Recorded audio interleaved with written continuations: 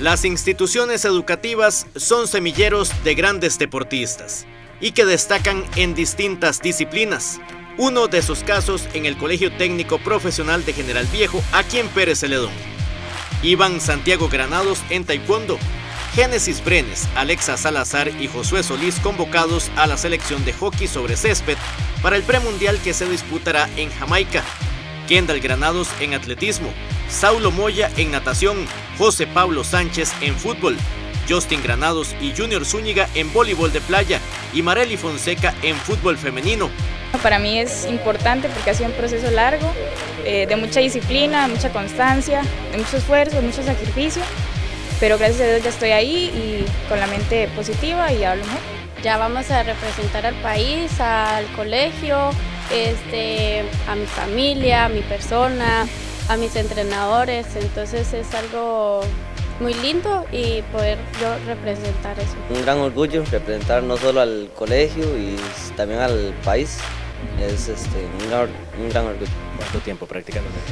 Eh, desde los cinco años juego hockey sobre césped, eh, más o menos unos tres años de estar en la selección nacional. Algo honorable, sinceramente, pues es un colegio que le tengo mucho aprecio y poner una parte de uno para representarlo y que destaque, ya sea en el área deportiva o académica, es algo, considero yo muy importante, ¿verdad? Para todo, para toda institución, ya sea colegio, escuela una universidad. Ah, ya jugar con la selección, jugar, ya este año pude jugar con la selección en el torneo sub-15 de UCAF y, ese es mi objetivo, llegar a la selección mayor, jugar en el extranjero.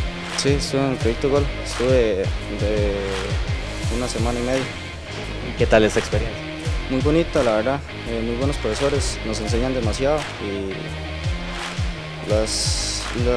el, rendimiento y todo es muy diferente, la verdad, es, es algo espectacular. Muy lindo, muy complicado es lograr llegar aquí, es muy duro física y mentalmente.